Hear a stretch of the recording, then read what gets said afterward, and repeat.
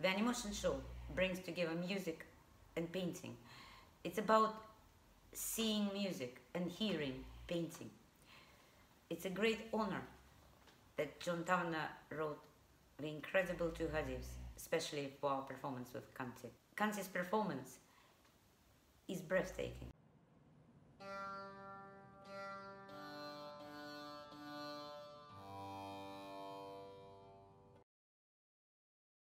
I commissioned John Tavener to write two hadiths specifically for Maria Rud to paint to.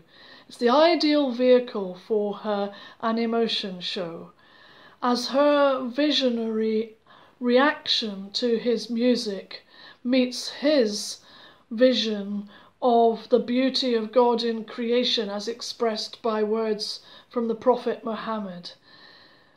The instrument in the background is a medieval bray harp. John chose it specifically because the buzzing pins on the strings make it sound like the sitar.